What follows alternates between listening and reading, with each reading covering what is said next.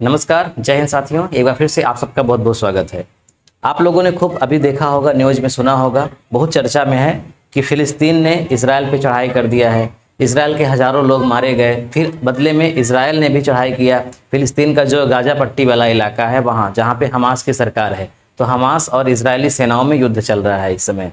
ये सात अक्टूबर को शुरू हुआ है। इसराइल नहीं जानता था, लेकिन सात अक्टूबर को उसने अचानक आक्रमण कर दिया और बड़ा नरसंहार हुआ।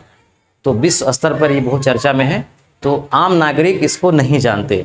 तो अगर आप पूरा नहीं जानते हैं, अच्छे से नहीं जानते हैं तो मैं आपसे रिक्वेस्ट करूँगा इस वीडियो को पूरा देखिएगा। मैं आपको संक्षिप्त में ही, लेकिन हर एक बात बताने की कोशिश करूँगा। आप पूरी बात समझ जाएँगे कि दरअसल ये मामला कहाँ से शुरू हुआ इसराइल कहाँ पे है, क्यों ये विवाद है, और इसमें अंततः परिणाम क्या हो सकता है, ये सारी चीज़ मैं आपको बताऊँगा। देखिए आप जानते हैं, इस दुनिया में सात महाद्वीप हैं, जिसमें से एक महाद्वीप हमारा है एशिया, है ना? एशिया में बहुत सारे देश हैं, भारत है, उसी में एक देश है इसराइल अगर मैं इसराइल का नक्शा बनाऊँ, लमसम इस तरह का अगर है तो ये इसराइल है, मान लीजिए। अब इसराइल के आसपास इराक, मिस्र, जार्डन, ये सारे देश हैं, अपने एशिया महाद्वीप में ही है। इसके काफ़ी पूरब में जाएँगे तो अपना देश हिंदुस्तान है। ये आप मैप में भी देख सकते हैं, ये इसराइल है। अब यहाँ पर इसके इस तरह से दो हिस्से बांट दे, बांट देते हैं। तो अब ये इसराइल के दो हिस्से हो गए। ये कब हुए, मैं भी आपको आगे बताऊँगा। पहले आते हैं कि ये मामला है क्या, उसके बाद। इसराइल है ये देश। ये भूमध्य सागर और जार्डन नदी के बीच में बसा हुआ। यहाँ पे एक जो देश था उसका नाम था फिलिस्तीन, जो आज दो भागों में बट गया है, जो युद्ध की कगार पर है, युद्ध हो रहा है। इस देश में मुख्य रूप से तीन धर्म के लोग रहते थे। ठीक है? तीन धर्म के लोग। कौन कौन से? यहूदी, ईसाई और मुस्लिम। तीन धर्म के लोग।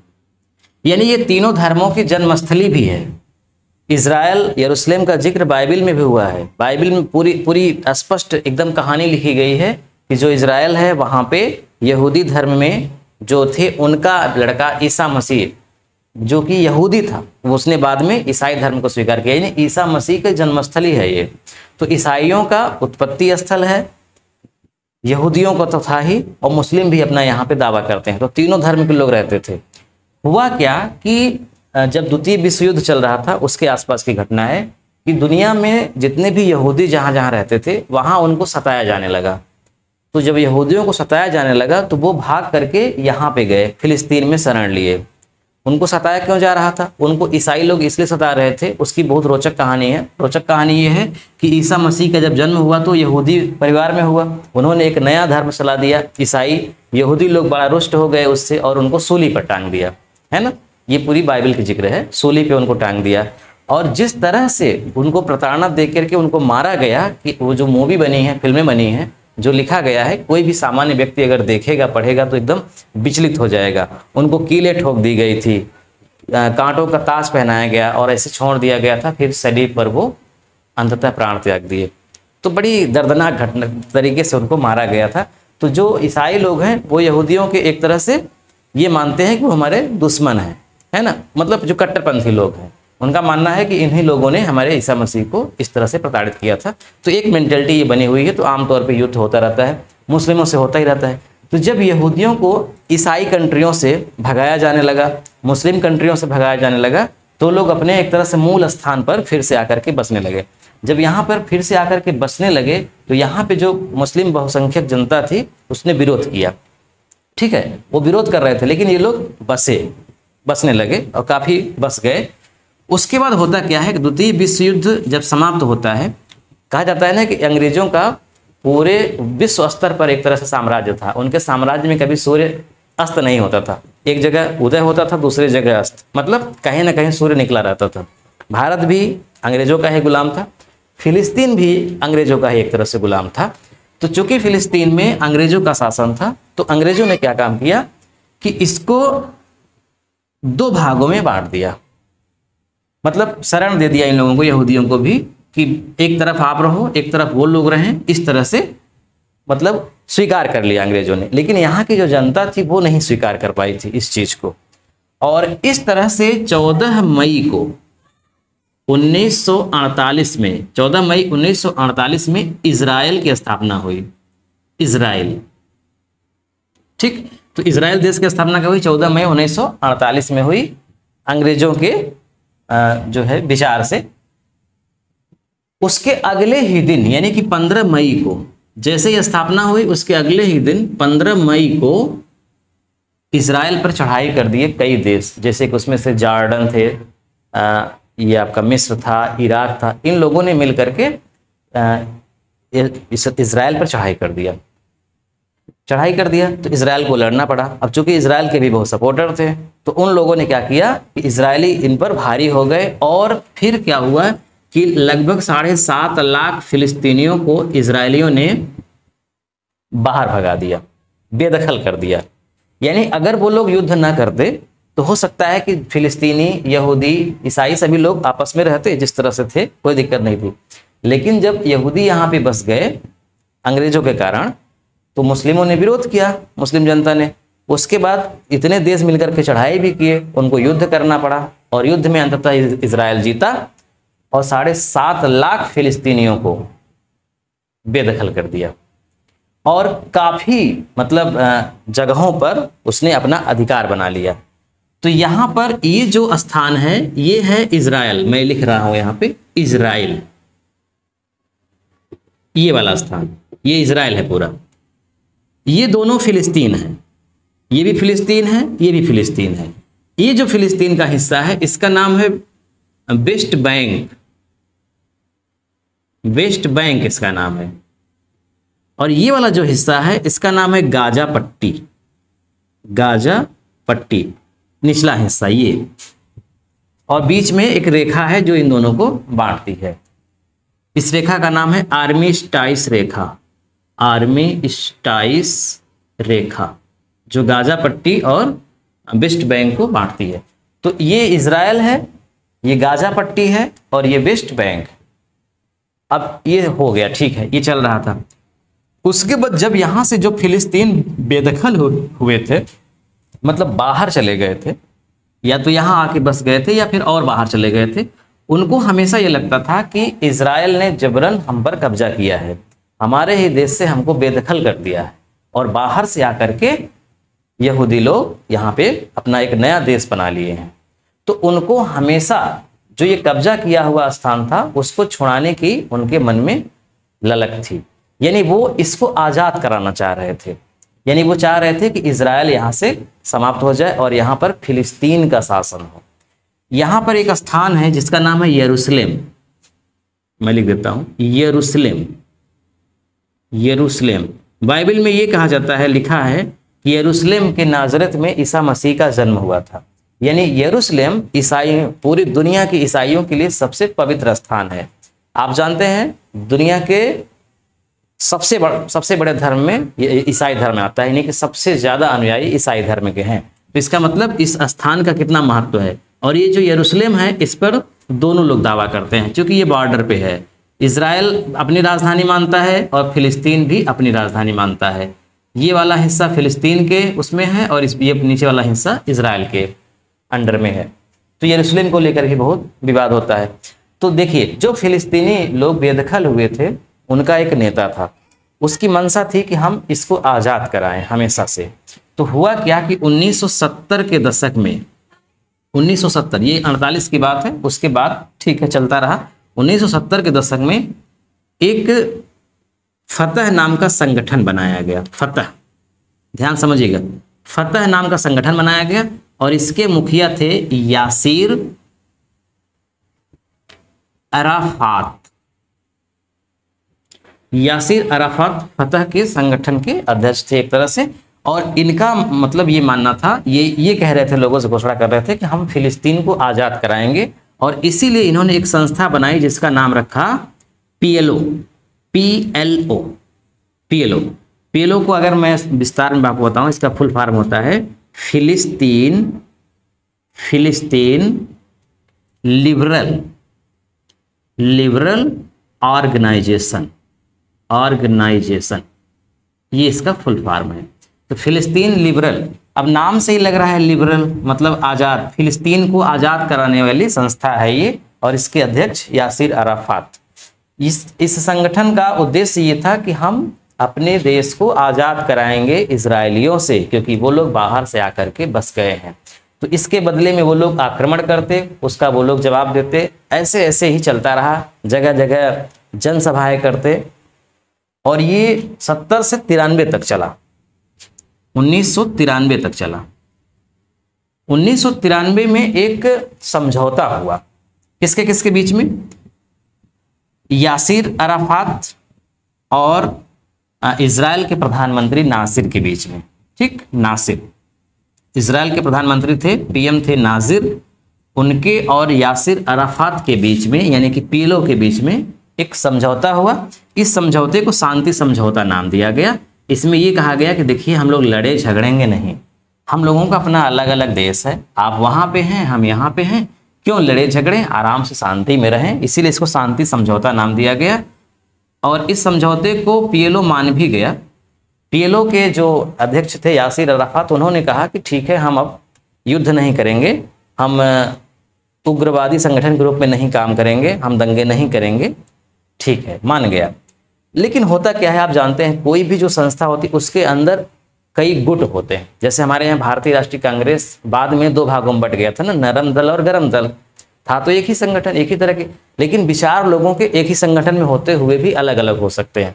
तो वैसे ही ये जो पीएलओ था, इसके भी दो तरह के लोग थे। एक थे जो नरम थे मतलब थोड़ा उदार थे, वो बहुत युद्ध नहीं करना चाहते थे, वो शांति में जीना चाहते थे। हाँ उनको दुख था कि हमारा देश छीन लिया गया है लेकिन वो बम से, तोप से युद्ध करके उसको नहीं हासिल करना चाहते थे। उसको वो शांति से चाहते थे कि हासिल कर लें। लेकिन एक दूसरा दल था जो चाहता था कि नहीं, ऐसे होगा ही नहीं। हमको युद्ध करना पड़ेगा, हमको अटैक करने पड़ेंगे। तो दो प्रकार के गुट हो गए थे पहले ही। और उन्नीस सौ सतासी में ही इसी में से एक नया गुट बन गया था, जिसका नाम था हमास। क्या नाम था? हमास, जिसने अभी अटैक किया है। हमास उन्नीस सौ सतासी में ही बन गया था। और जब ये शांति समझौता हुआ था, उसके पाँच महीने पहले इसने आत्मघाती पहला हमला भी किया था। आत्मघाती हमला मतलब स्वयं बम लगा करके कहीं कूद जाना, खुद भी मर जाना और दूसरे लोग भी मरे। तो ये हुआ था। तो जब ये शांति समझौता हुआ तो ये चीज़ इसको हमास को पसंद नहीं था। यानी हमास के जो, का जो संगठन था, वो पसंद नहीं था। तो देखिए, जो पीएलओ संगठन था, फिलिस्तीन लिबरल ऑर्गेनाइजेशन, इसके दो भाग हो गए थे। तो एक बन गया था पीएनए और एक बन गया हमास हमास की स्थापना बताया अभी उन्नीस सौ सतासी में ही हो गई थी। पीएलओ की स्थापना उन्नीस सत्तर के दशक में हुई थी ना, उन्नीस सत्तर के आसपास मान लीजिए। एफ़ एन जब ये बन गया तो ये अपना उसी में रहा पीएनए हो गया। पीएनए का मतलब होता है फिलिस्तीन नेशनल अथॉरिटी। फिलिस्तीन नेशनल अथॉरिटी। इसका क्या काम था और हमास का क्या काम था? पहले आप जान लीजिए कि हमास का फुल फार्म क्या होता है। हमास का फुल फार्म होता है हरकत अल मुकावामा अल इस्लामिक। ये इसका फुल फार्म है हमास का। हरकत अल मुकावामा अल इस्लामिक और इसका क्या नाम है? फिलिस्तीन नेशनल अथॉरिटी। इसका जो काम था, वो ये था कि हम बहुत युद्ध वगैरह नहीं करेंगे। ये थोड़ा शांति वाला मतलब इसको शांति पसंद थी, समझौतावादी संगठन था, इसीलिए इनसे पढ़ते नहीं थे। और हमास में जितने लोग थे, सब उग्र स्वभाव के थे, गरम दल के थे, गरम खून के थे। तो हरकत अल मुकाबला, मुकावामा, अल इस्लामिक जो संगठन हमास बना, ये इसको किसने बनाया?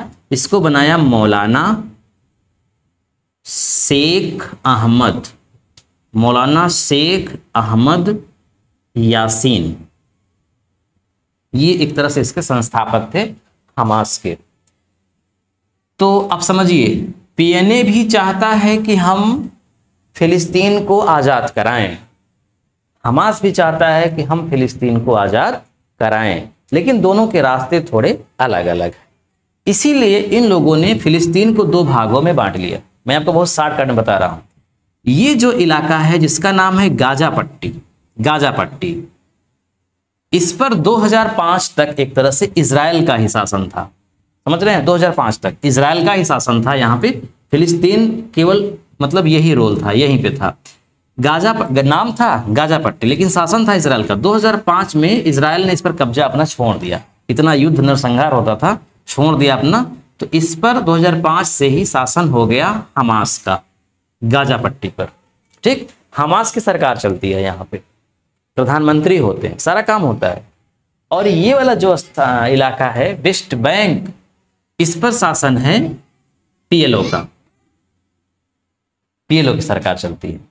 ये दोनों फिलिस्तीन ही हैं एक तरह से, और ये इसराइल है।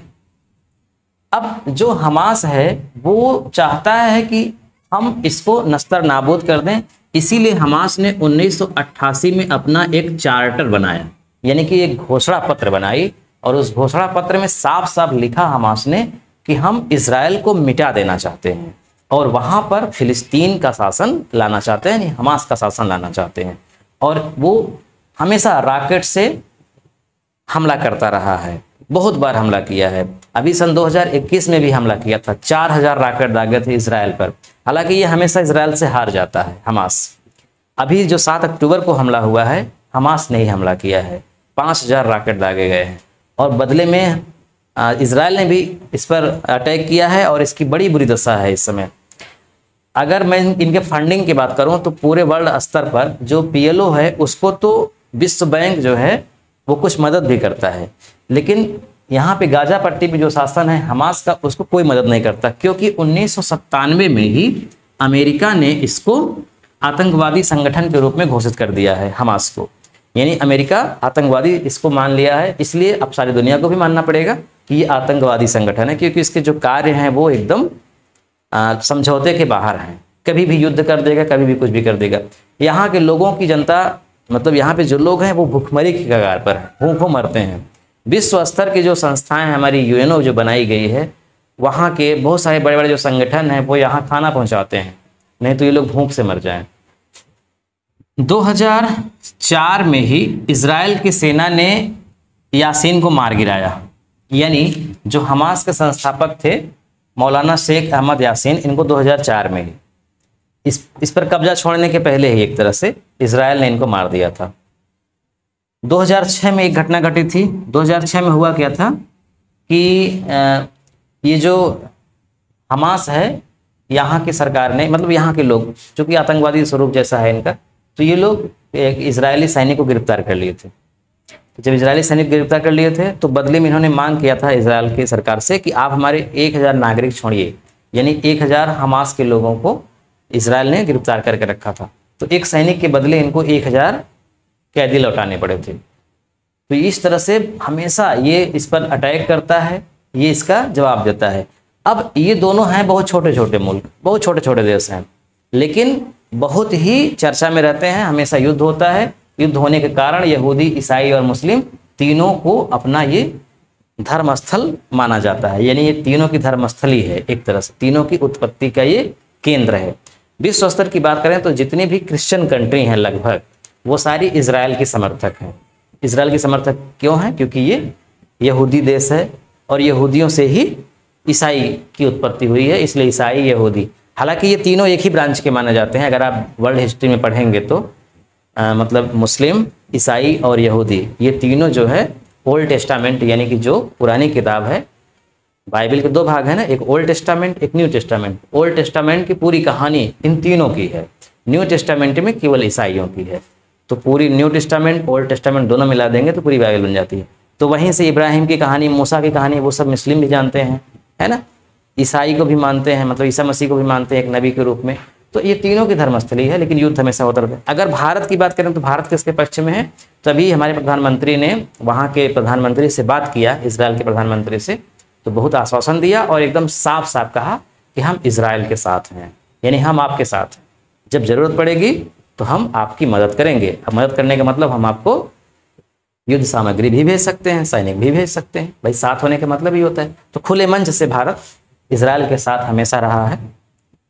जितनी मुस्लिम कंट्रियाँ हैं, वो भी सभी नहीं, कट्टर मुस्लिम कंट्रियाँ, जैसे कि इराक।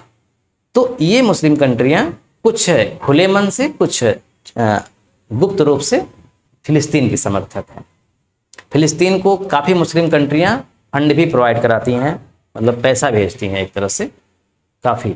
और इसराइल का जो है, अमेरिका समर्थक है, इंग्लैंड समर्थक है बड़े बड़े विकसित देश समर्थक हैं तो वहाँ से उनको मदद मिलती है। इसराइल के लगभग सारे लोग लड़ाकू होते हैं, वहाँ पे ट्रेनिंग ही दी जाती है कि सारे लोग यहाँ पे सैनिक होंगे, महिलाओं को भी सैनिक शिक्षा दी जाती है।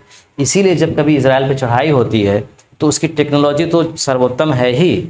उसकी टेक्नोलॉजी वहाँ पे ऐसी है कि रॉकेट को भी वो मिस कर सकता है। हालाँकि अभी इतना जल्दी सब कुछ हो गया कि वहाँ की जो मिसाइल एंटीरोधक था, वो फेल हो गया है। वहाँ की जो खुफिया एजेंसी जो विश्व स्तर पर चर्चा का विषय बनी रहती है, मोसाद वो भी नहीं समझ पाई फेल हो गई, क्योंकि इतना अचानक हुआ। लेकिन फिर भी वो लोग इतना हैं एक्टिव कि इसका जवाब देना जानते हैं और अभी युद्ध चल ही रहा है, लेकिन ये बहुत इसकी बुरी दशा हो गई है गाजा पट्टी की। बहुत बुरी दशा हो गई है। और अंततः इसराइल जीत ही जाएगा, क्योंकि हमेशा इसराइल ही जीता है इसमें। उसके पास टेक्नोलॉजी है, उसके समर्थक बहुत हैं, उसको मदद मिलती है। मदद इनको भी मिलती है, लेकिन इनके मददगार उतने शक्तिशाली नहीं हैं जितने इसराइल के हैं। भारत भी इसराइल का ही समर्थक है। तो ये है पूरा मामला। मामला धर्म को लेकर के है, उत्पत्ति को लेकर के है, प्रतिष्ठा को लेकर के है। इसीलिए युद्ध हो रहा है यहाँ पे।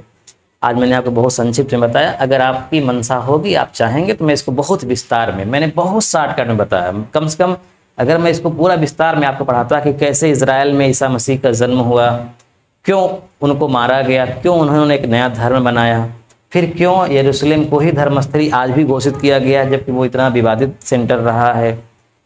ये सब कुछ बहुत डिटेल में अगर आपकी इच्छा होगी तो मैं आपको बताऊँगा। अन्यथा इतने से अगर आप समझ गए पूरी बात तो बहुत अच्छी बात वीडियो देखने के लिए आपका बहुत बहुत धन्यवाद। अब मैं आपका एक वीडियो आपको बनाकर और दूँगा। जब ये युद्ध शांत हो जाएगा, इसका परिणाम निकलेगा। ठीक? तब मैं आपको बताऊँगा कि सात अक्टूबर अक्टूबर से जो युद्ध छिड़ा है, उसके बाद कितने दिन तक चला और इसका परिणाम क्या हुआ? कितना नुकसान हुआ? इससे क्या विश्व स्तर पर प्रभाव पड़ेगा? इसका क्या भारत पर प्रभाव पड़ेगा? वीडियो देखने के लिए आपका बहुत बहुत धन्यवाद।